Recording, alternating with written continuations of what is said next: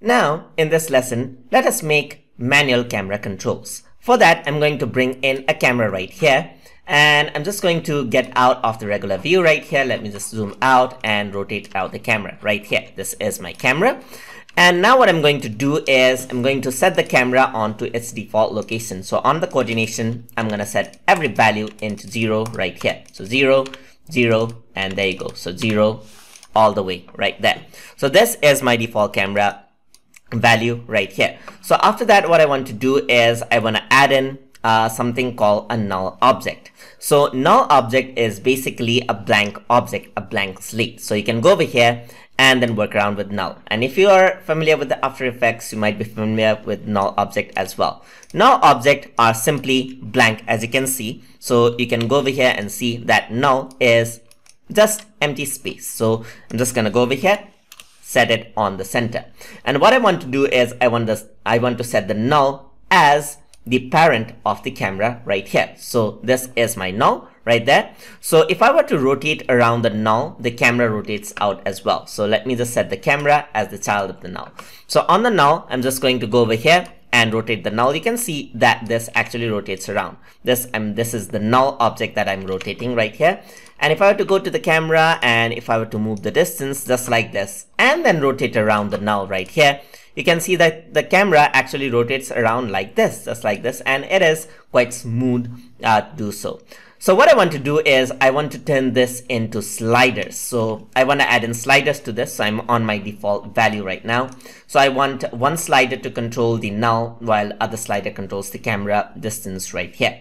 So I'm going to go on to the user data from the null. This is where I want the user data be, to be. So I'm going to go into the user data. I'm going to add in user data right over here. And here you go, you have this. So I'm going to add in data right here. So I'm going to say this is going to be, the first one is going to be camera rotation right here.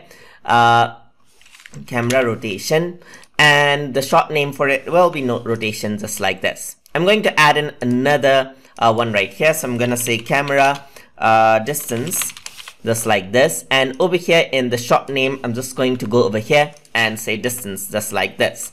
So now on the rotation value, uh, the data type is float. So on the interface, uh, you, you, you want to select this as something like a float slider. So this is the type of slider that will appear for the user data right here. So I'm going to go into float, which is the, just the value. Float slider is with the slider and the value. Float sli uh, slider with no edit field does not show the data while longitude and latitude shows the area right here. So I'm going to choose uh, float slider for this one.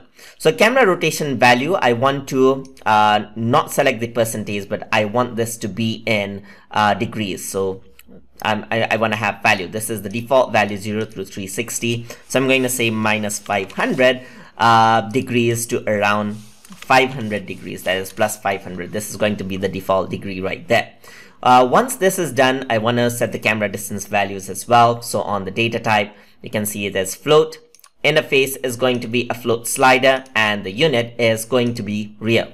So minimum value let's say I want to have around minus 3000 and uh, the max value is going to be plus 3000 right here. So 3000 enter just like this. So camera rotation and distance that's okay. Once everything is done i'm going to press ok and in the user data you can see that rotation and distance is here there's no value for this one so i just want to change that out.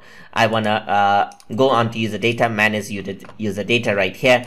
And on the rotation part I want to make sure that it is float slider and I'm going to press OK and you can see the data as well. So I can move this around but no changes are actually seen over here. That is because we haven't linked it yet. So we got to do a basic uh, type of visual programming right here and to do that I'm going to go into null because that is where my user data is I'm going to right click over there and I'm going to go to programming tags and over here, I'm going to go to XPresso. So XPresso is where you can link up the uh, user datas onto the attributes of the objects. So I'm going to go over here and now I'm going to drag in the null over here, just like this. This is the null object, just like that.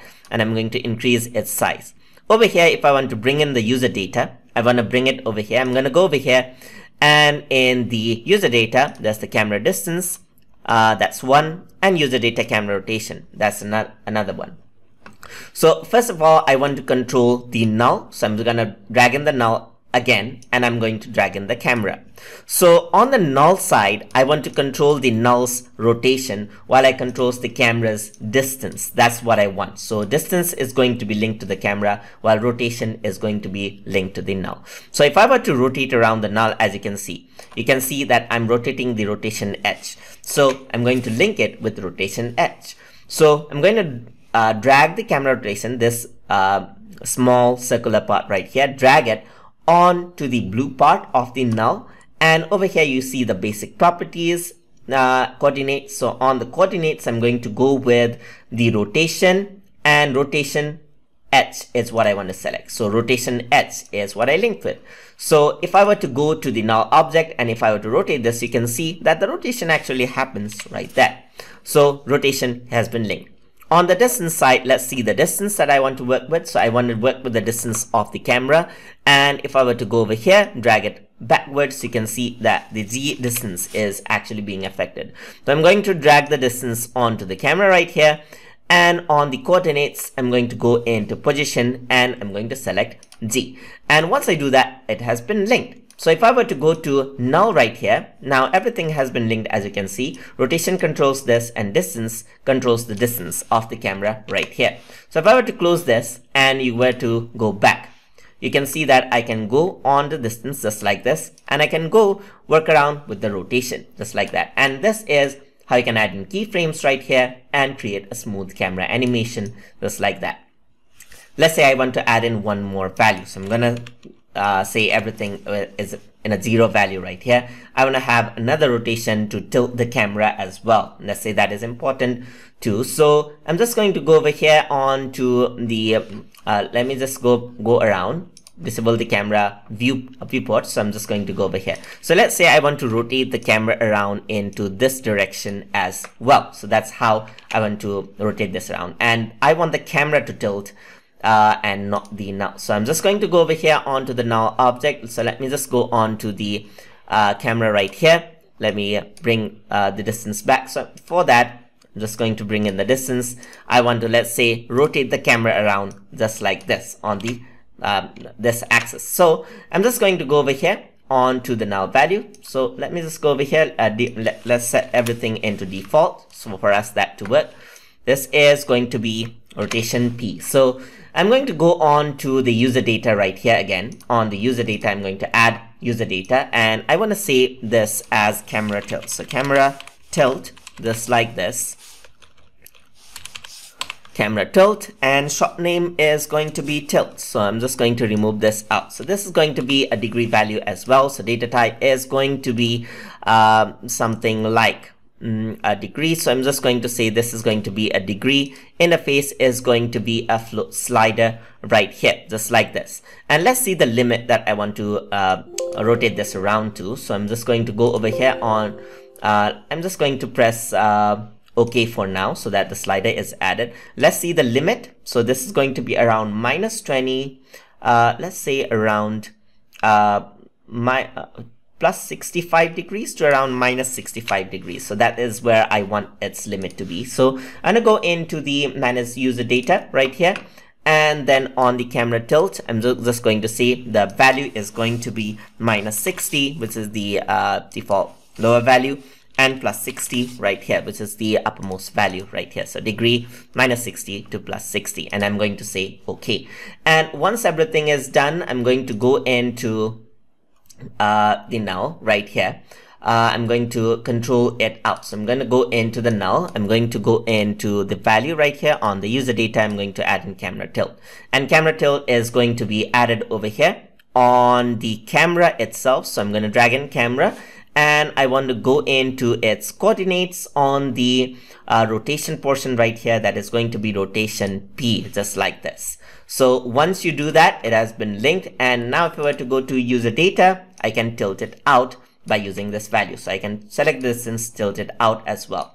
Another thing I may want to do is uh, bring this camera up and down according to the tilt as well. So I need to add in another value as well. So I'm going to go to user data. I'm going to add a user data right here. So I'm going to say this is tilt and I'm going to say uh, talking about a pedestal, camera pedestal, camera pedestal right here. So this is going to be pedestal, which simply means moving the camera up and down. So this is going to be another value again, which I want to add into the camera. So the data, data type is going to be float. This is going to be a float slider right here. And this is going to be a unit of real numbers. So I'm going to have something like around minus 1000 to plus 1000 right here. Which is as a degree just like this. So now i'm going to add in the value onto the null object right here uh, over here onto the um, onto the user data. I'm going to add in camera pedestal right here. I'm going to add the pedestal. This is going to be in the y-axis so on the pedestal let me just drag it over here and on the coordinates on the uh, position right here I'm gonna say position Y just like this and close this around.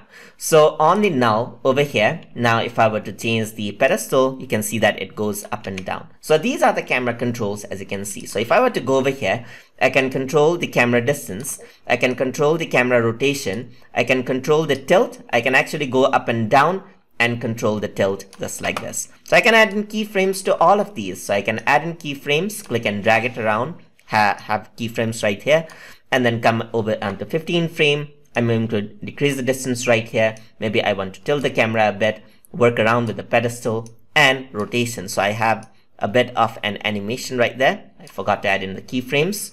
So let me just rotate the camera a bit. Let me work around with the distance. I'm going to work around with the pedestal and tilt add in keyframe to all of it. And this is how my animation actually works out. And over here let's say I want to work around with the rotation just like this.